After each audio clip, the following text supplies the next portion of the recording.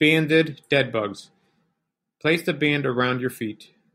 Extend one leg as you stretch the rubber band, keeping your core tight and press your lower back into the ground. Do not let your back lift up.